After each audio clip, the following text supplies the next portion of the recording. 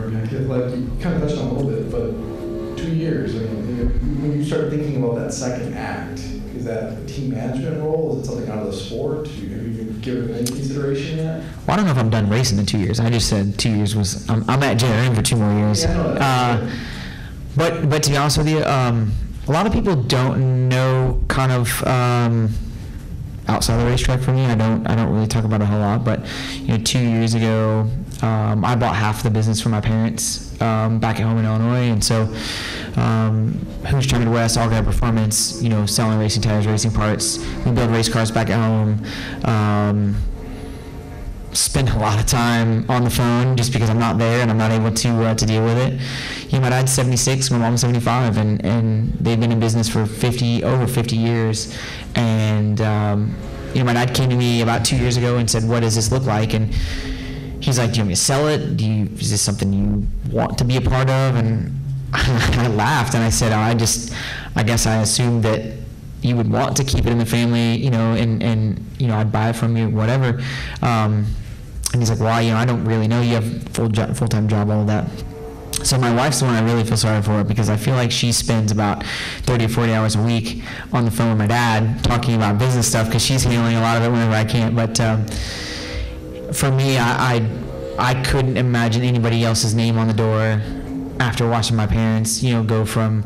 I remember. Um, I, I mean, obviously I'm not 50, right? But I remember from when I was a kid, the stuff that we did and the, the terrible trucks that we used to have. I mean, I remember there was an old Freightliner cab over semi that I rode thousands and thousands of miles in uh, with my dad going to different racetracks or going to, to Hoosier to pick up tires and and um, there's a picture on his wall of that truck, right? And it means a lot. So for me, like that's that's kind of the direction that I feel like I'm I'm headed. I've, I've spent a lot of time with that.